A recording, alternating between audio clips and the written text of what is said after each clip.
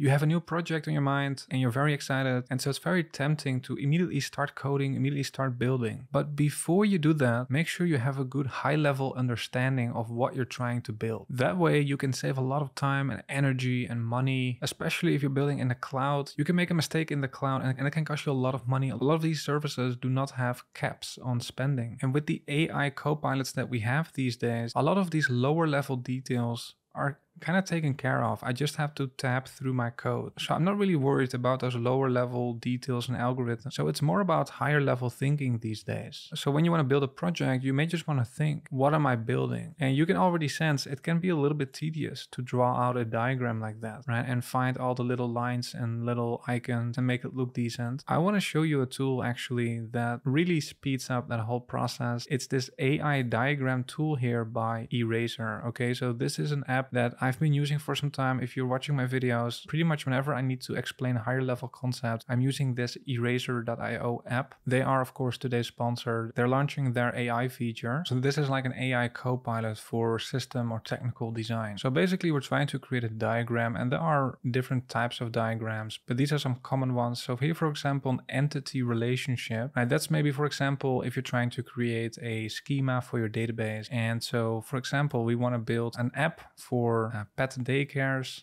maybe a SaaS. So a user would actually be managing a pet daycare business and they have customers that drop off pet. Each pet has a name, age, some note. Now, a daycare may have multiple locations. Some daycares are part of a larger franchise organization, right? So you can see there are multiple entities in this description. And I want to see what the Erasers AI can do with this. I don't even have to select this. Actually, it will automatically pick the most suitable type here, but then it's going to generate this. Uh, you can see it's picked it here. All right. So then it starts to build out a diagram here. Let's see what it comes up with. All right. So literally after a couple seconds, this is what we get. I would say this is really good, right? So here we see the various entities, right? So we have pet, we have a customer, we have locations here, and there are certain relationships between them, right? One to many relationship. I can double click here. I can modify this in code actually, right? So this is just a visualization of the code that we see here, right? So maybe we want to add subscription plans to users. I can also just write it here, right? Subscription plan, and it will be added here in the diagram. And then below here, you can also define the uh, relationships between them, right? Maybe this should be a many to many type of relationship, you would see that reflected here. Right? Very nice way actually to quickly iterate over a, a data model for your idea. And now you want to convert this to a Prisma schema, let's say. I can quickly copy this and let me actually try plopping this into ChatGPT to see if I can create a Prisma schema from this describing ER diagram. All right, and it's generating a Prisma schema for me. Actually looks pretty decent, I think. Uh, but this would be a nice way, I think, to quickly iterate over some ideas for your data model. But let's say I also want to have some kind of flow charts. Actually, I can, I can use Command J and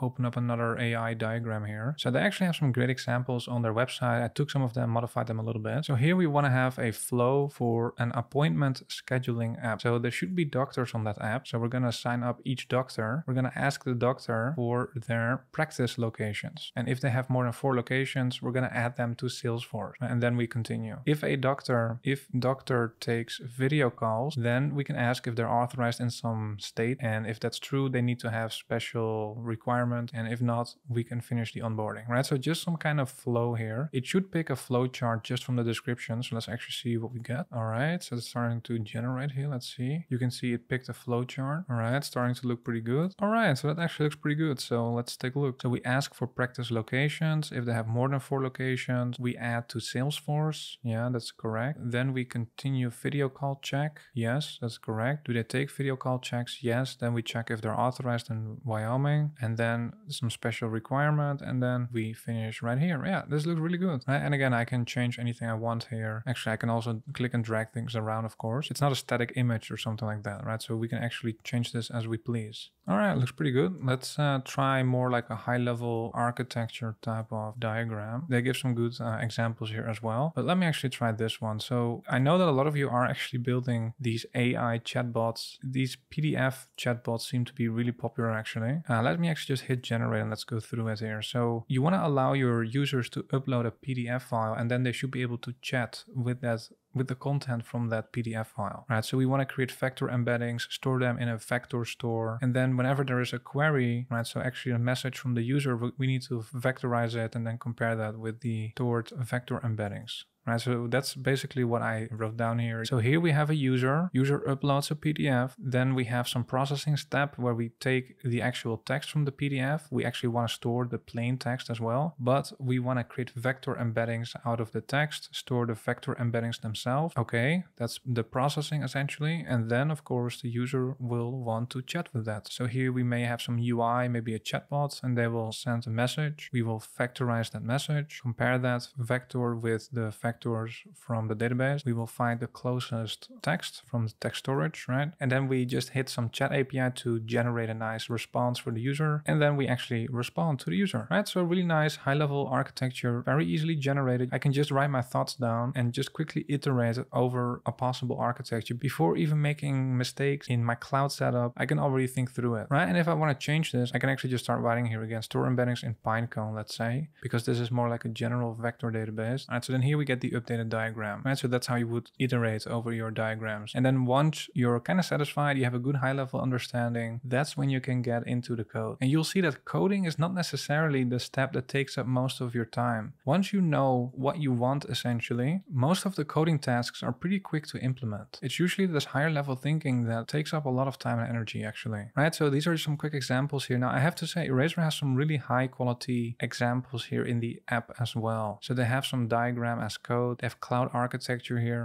right? So all of these templates essentially that you can get started with, right? So they have a complete catalog here. So you can find something that's pretty close to your own use case. At calendar booking app, e-commerce website data model. Let's actually see we can get a nice data model again, right? So I would say check out Eraser, check out their AI feature. It's just Commands in J and it will pop up this AI diagram here. I've enjoyed using Eraser so far. Great design as well. Really like it. So I would say check it out. I want to thank Eraser for sponsoring this video and I want to thank you for watching and I'll see you the next one.